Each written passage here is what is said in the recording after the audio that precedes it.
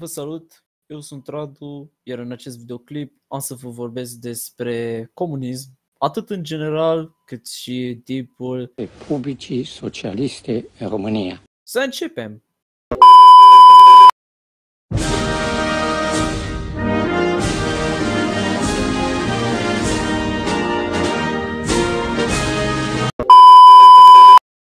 Comunismul este o ideologie care oficial promovează un sistem social în care nu există stat, clase sociale și proprietate privată asupra mijloacelor de producție și care are scopul de a realiza o societate egalitară, o mișcare politică, un partid care afirmă că dorește să implementeze acest sistem și un regim politic ce se revendică comunist, socialist, republică populară sau democrație populară, în care statul există, fiind chiar atotputernic și totalitar, sub conducerea exclusivă a unui singur partid zis comunist, socialist sau muncitoresc, iar clasele sociale fiind diferențiate nu prin accesul la proprietate, ci prin accesul integral la uzufructul proprietății colective.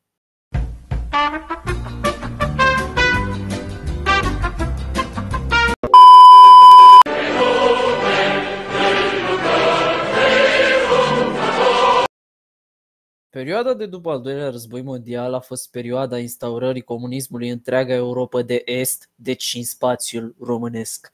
Instaurarea regimului comunist în România debutează după lovitura de stat de la 23 august 1944 prin staționarea trupelor sovietice pe teritoriul țării. Acestea au fost instrumentul cu ajutorul căruia rușii și-au asigurat uh, implementarea totalitarismului de tip stalinist în țara noastră, un aport semnificativ în impunerea comunismului în România de către URSS l-a avut și înțelegerea de la Ialta din 1945, care a lăsat drum liber manevrelor sovieticilor în România. Comunismul s-a impus în România treptat. Primul pas în acest sens a fost uh, făcut la 6 martie 1945 prin numirea primului guvern pro-comunist prezidat de Petru Groza, un trimis al sovieticilor. Din acest guvern nu făcea parte însă niciun reprezentant al partidelor tradiționale democratice, PNL și PNC, lucru care a stârnit nemulțumirea regelui Mihai.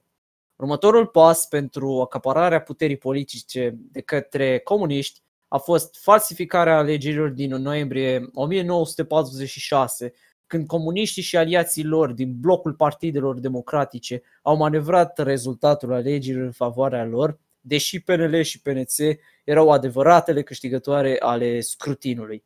Această mare fraudă electorală, realizată cu concursul URSS, a certificat faptul că democrația nu mai era o opțiune în România, iar comuniștii erau adevărații stăpâni ai țării.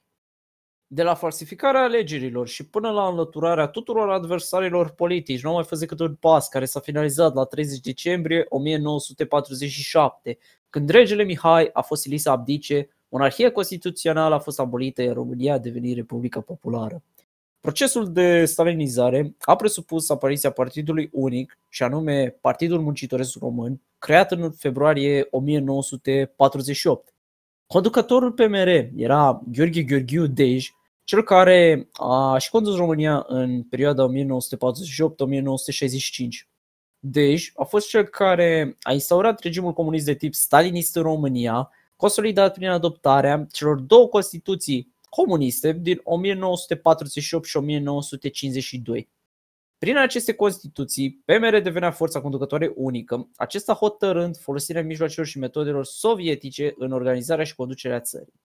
Astfel, începând cu 1948, se trece la naționalizarea băncilor, fabricilor, impunerea cezurii, a controlului asupra culturii și asupra bisericii, iar între 1949 și 1962 are loc uh, colectivizarea în agricultură.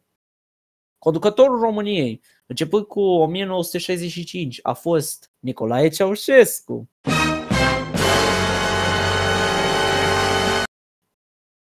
Dacă într-o primă etapă a guvernării sale România a cunoscut o perioadă de liberalizare, ei bine, după 1974 are loc răutățirea situației economice și sociale.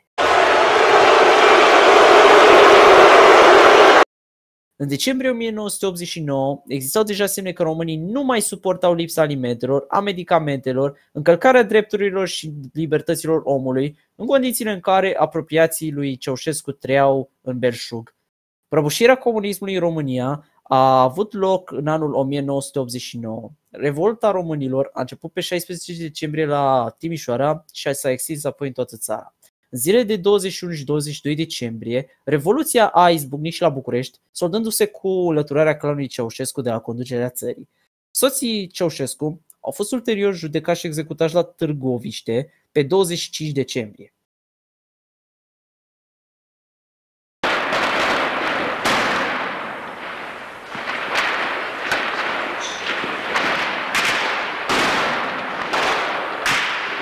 Tribunalul, în numele legii și al poporului, declarând în decret, condamnă unanimitate de voturi pe inculpații Ceaușescu Nicolae și Ceaușescu Elena la pedeapsa capitală și confiscarea totală a averii pentru săvârșirea infracțiunilor de genocid prevăzut de 357 alineatul 1 litera C penal, minarea puterii de stat prevăzut de articolul 162 cod penal, act de, de diversiune prevăzut de articolul 163 cod penal și subminarea economiei naționale prevăzută de articolul 165 alineatul 2 cod penal.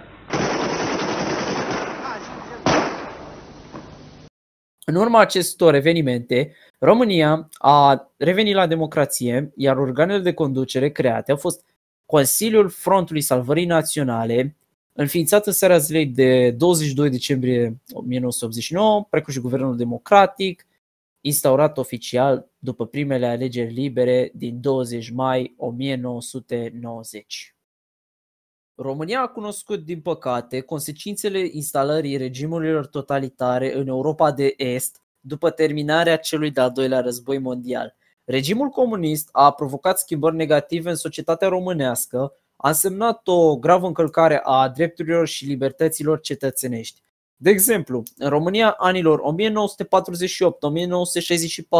în închisorile comuniste, au murit o serie de personalități ale politicii și culturii interbelice, printre care se numeră Gheorghe Brătianu, Ion Mihalache, Iuliu Maniu și așa mai departe.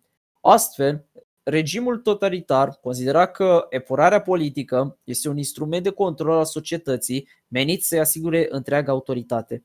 Înlăturarea regimului comunist prin Revoluția Decembristă a făcut ca România să redevină un stat democratic ce a urmărit în perioada imediat următoare integrarea sa în structuri internaționale precum NATO, dar și în familia statelor europene, Uniunea Europeană.